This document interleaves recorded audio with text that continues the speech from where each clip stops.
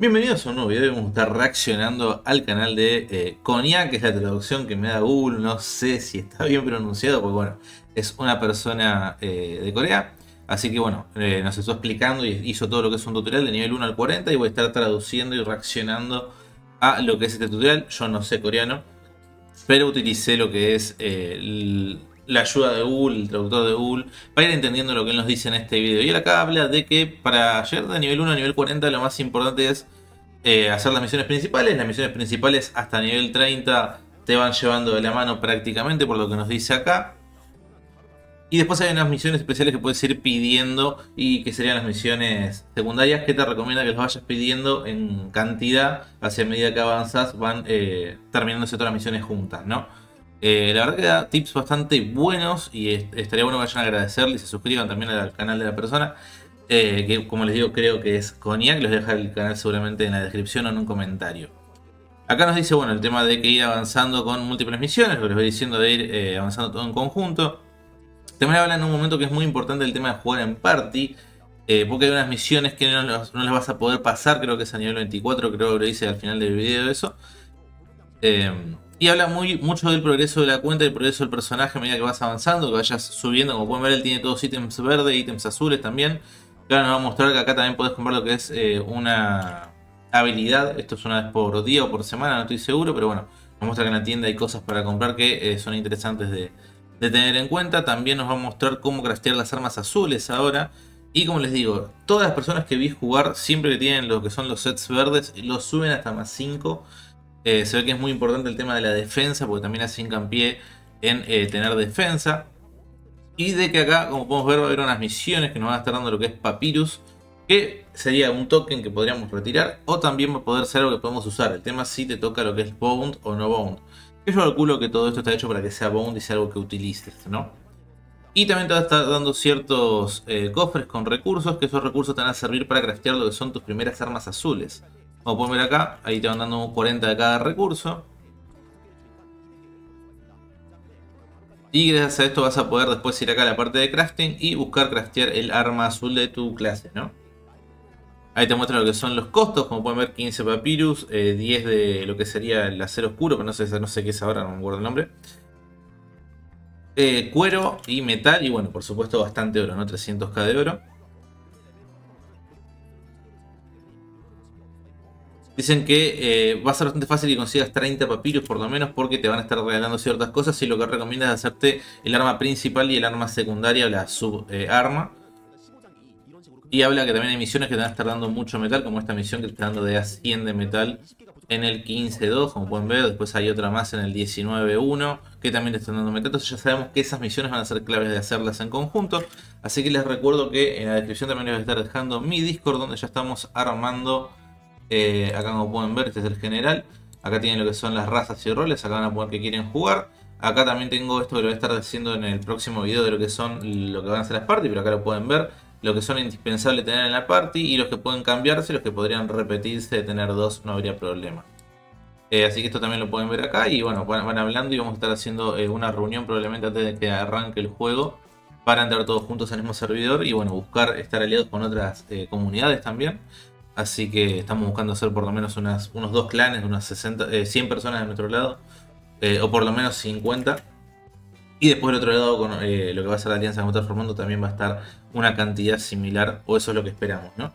así que bueno, vamos a terminar los de Eso lo voy a dejar para el próximo video que voy a subir mañana.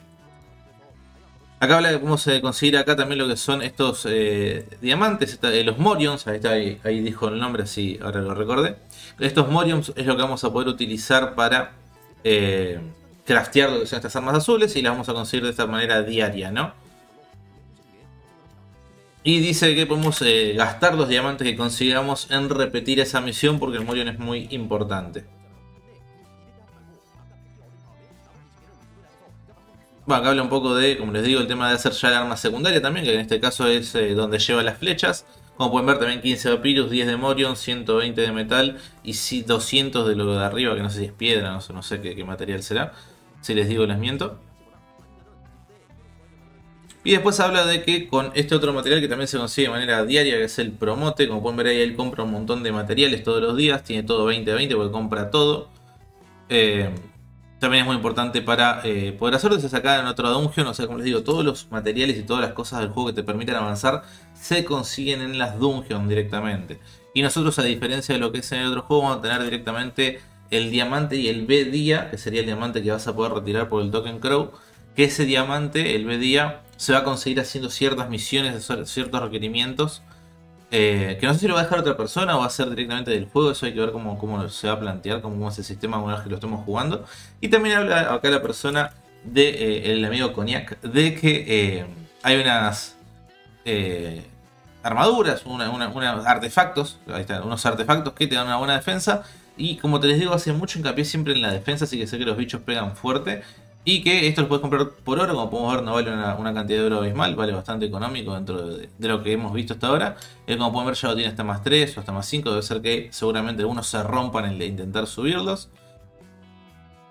Y como pueden ver ahí está todo lo que son esos artefactos y dice que acá podemos conseguirlos en esta dungeon. Creo que es de nivel 35 esta dungeon, por eso es muy importante rushear a nivel 40 lo más rápido posible. Y acá vamos a poder conseguir este tipo de equipamiento que podemos ver hasta violeta te podría salir si tenés mucha suerte en estos cofres, ¿no?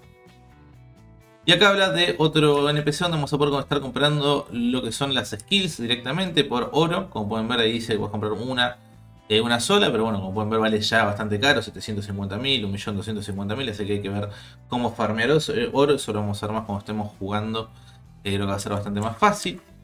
porque bueno, como les digo, ahora podemos reaccionar a lo que van eh, haciendo otras personas, pero en el momento que estamos jugando ya vamos a poder ir armando nuestras propias estrategias o bueno, ir viendo qué es lo que es más rentable para nosotros, ¿no? Dependiendo del personaje y la raza.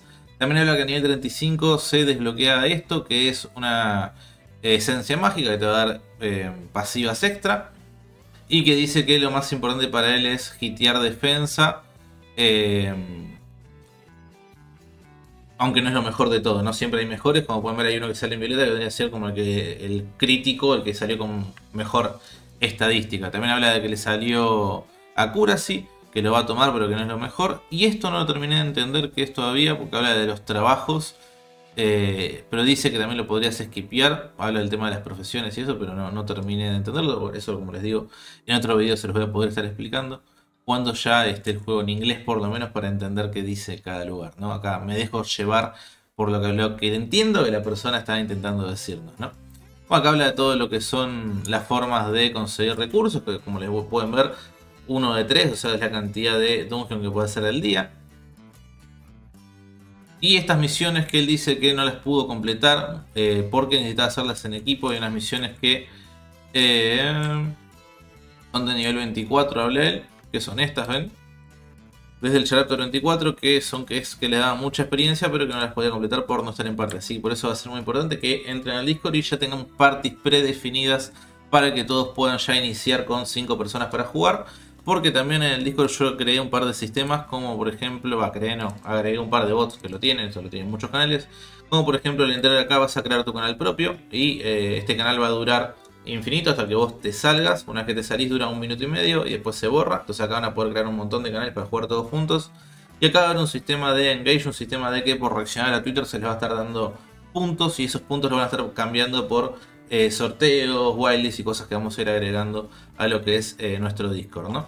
Así que bueno, acá después tienen un montón de otros juegos y todo lo que son los que vamos jugando, un poco lo que son las reglas también de lo que vamos a estar llevando eh, en Necro.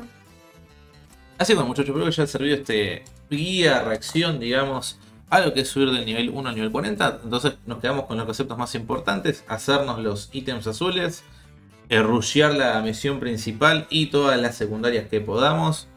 Eh, y jugar en party, jugar en party para poder hacer esas misiones que él no podía completar, que decía que hasta el chapter 24 les fue fácil y ya después sin party no podía seguir progresando en ese contenido. Eh, también nos mostró cuáles son las eh, formas de conseguir los materiales para hacer más azules y creo que está bastante bueno eso. Eh, creo que ya nos da una meta, por lo menos algo a seguir en los primeros, el primer día de juego. Yo no sé cuándo vamos a llegar hasta el 40, qué tan rápido va a ser. capaz que tardamos uno o dos días o una semana, no, estoy seguro cómo va a ser el tema del leveo.